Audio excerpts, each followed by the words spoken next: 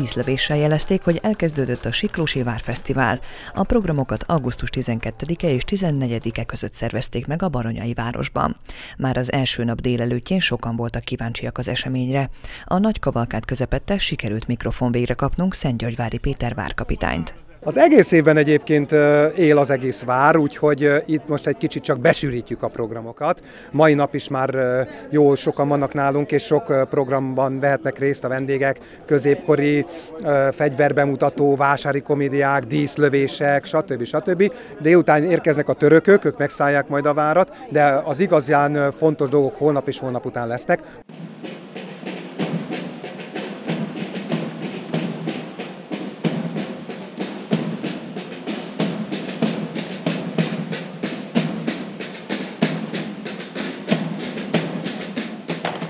Óriásbábok, bűvészmutatványok, zászlóforgatók, stb. stb. És délután négy órakor lesz nekünk egy nagyon nagy csata lent a Várkertben. Arra szeretettel invitálok mindenkit. Este könnyű zenei programok lesznek, és nálunk nem áll le az élet szombat éjszaka se, hanem lesznek ilyen éjjeli összecsapások, stb. stb. Aztán pedig vasárnap megismételjük a nagyszabású csatát, és előtte viszont minden csapat, akik ideérkeznek hozzánk, bemutatkoznak a várudvarban. Kristó, Kristó! Addig tart egy menet, amíg le nem fegyverzik egymást. A lefegyverzés azt jelenti, hogy már csak az életük árán tudják megvédeni magukat. Mi persze megállunk, de még mindig megvan a fegyver, nem fegyverezték le egymást.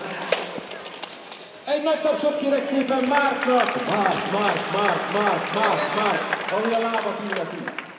A verőfényes napsütést másnap esőzés követte. A szervezők ezért a kültéri programokat a várfalain belül tartották meg, de itt is válogathattak kedvükre kicsik és nagyok. A gyerekeknek például meseolvasást tartottak a játékországban. Hiszen a királyfinak sem kellett egyéb. Felnyergelte legjobbik lovát, és indult még aznap, hogy megkeresse. A világ szép Nátszál király kisasszony ment hetet hét ország ellen, Estére kelve bejött egy rengeteg nagy erdőbe. Nagy erdőben betért egy kicsi házikóba. Nem lakott ott más, csak egy öreg asszony. Köszönti az asszonyt illendőképpen. Adjon Isten öreg anyám! Fogadja az is nem különben, s kér. Ugyan hol jársz itt, fiam, ahol a madár sem jár?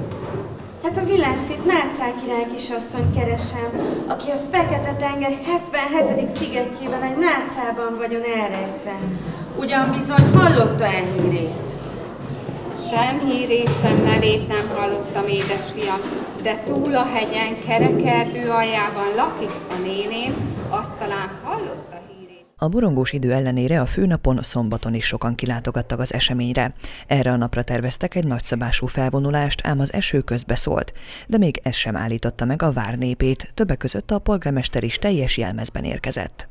Pénteken kezdtünk, délután, illetve az esti koncertekre jött meg igazándiból a, a tömeg. E, az esti koncerten nagyon sokan voltak, hála jó Istennek, nagyon jó hangulatban telt, és hát ma reggel ugye arra ébredtünk, hogy egy kicsit borongós az időjárás, úgyhogy a 10 órási e, felvonulásunkat sajnos el kellett engednünk, ezt elhalasztottuk. Természetesen a várban a programok, a hagyományőrzőkkel megtervezett programok zajlanak, várjuk a vendégeket.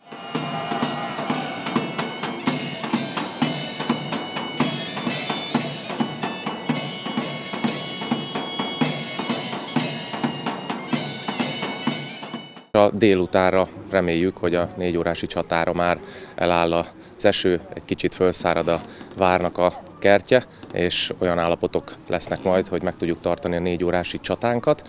Az egy látványos, nagyon nagy érdeklődés előtt zajló esemény szokott lenni, és természetesen miután a csata lezajlódott, ma este, szombaton este a halott pénzzel folytatjuk lent a Várkentben a nagy színpadon, és a vasárnapi napon fogjuk zárni majd az idei Várfesztiválunkat. Ne forgácsoljuk itt a tartalmas időt, Déd a szóbalanvér, tett fel kérdéseire.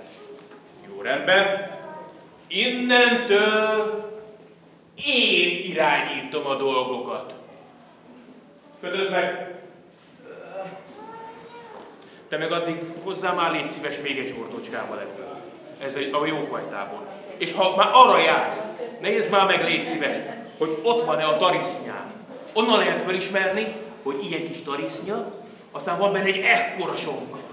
Jó, ott kerestek Igazándiból nem nem szekte kedvünket az eső, tehát én azt látom, hogy a hagyományőrzők lelkesek, hála jó Istennek sokan vannak itt nálunk a várban látogatóként, és nagyon élvezik egyébként azt, hogy a hagyományőrzők e, a programokkal színesítik itt a, a, a mindennapokat, és természetesen jó magam is úgy készültem, hogy ma és holnap is egész nap itt leszek a várban. Természetesen a mai napon úgy készültünk, hogy felvonulunk, ezért mindenki felvette a a, a hagyományőrző öltözékét. A várban egyébként a jégkorszakról is látogatható egy időszaki kiállítás, de természetesen a korabeli öltözékek, fegyverek és bemutatók vonzották a legtöbb ide látogatót.